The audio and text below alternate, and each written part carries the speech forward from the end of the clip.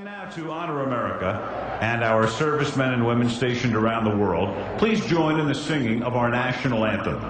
The anthem will be followed by a Super Hornets flyover by the VFA 122 Flying Eagles from Naval Air Station Lemoore. Ladies and gentlemen, Grammy Award winners, the Dixie Chicks.